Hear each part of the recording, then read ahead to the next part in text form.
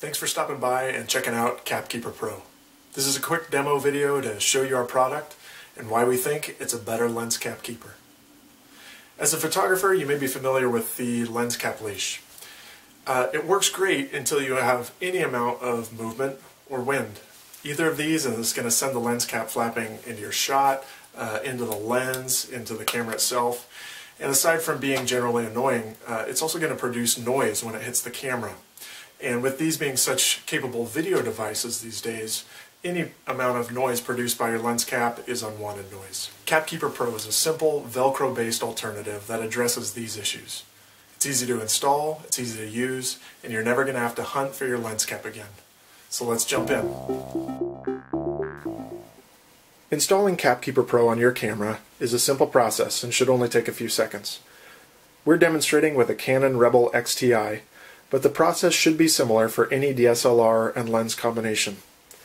The product comes with these Velcro discs and these Velcro strips, slotted on one end and tapered on the other.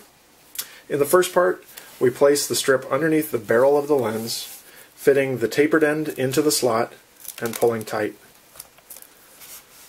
Step 1 is now complete. In step 2, we remove the lens cap and place one of the adhesive discs on the inside. We can also place an adhesive disc on the outside and can even cut it in half if we wish to preserve the logo. The disc on the outside may work better for your specific lens and lens cap. It's important to note that the Velcro does not extend past the inside of the lens cap and does not get close to the filter or the lens itself. You should verify this with your specific lens and lens cap prior to installation. We place the lens cap back onto the camera and installation is now complete.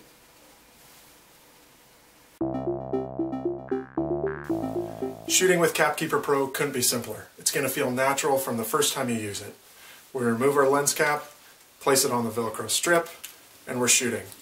Zooming in or out is not an issue. The lens cap stays where it should, and we know exactly where to look for it when we're done.